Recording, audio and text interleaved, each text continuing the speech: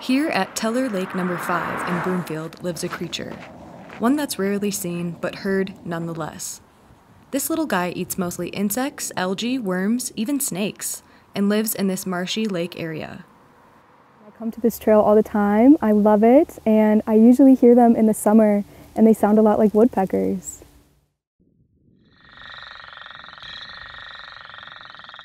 You mean like that? The northern leopard frogs are known to be either green or brown with irregular oval shaped dots, and their population is on the decline. Colorado Parks and Wildlife has listed the frog as a Tier 1 species of greatest conservation need, making it imperative to get rid of any threats that might endanger them further. And what's the main culprit? These cattails you can see all around me. The frogs need shallow, open water near the shoreline for their breeding.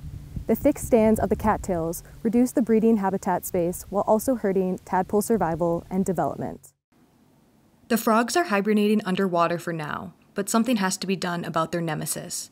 Boulder Open Space and Mountain Parks and Boulder Fire Rescue are conducting a prescribed burn around the lake to manage the dense cattails.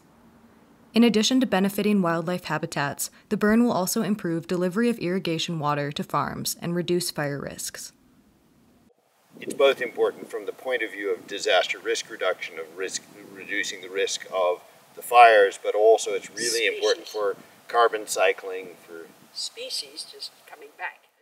The burning will take place under very specific weather and vegetation conditions to ensure the safety of the public and will continue through March.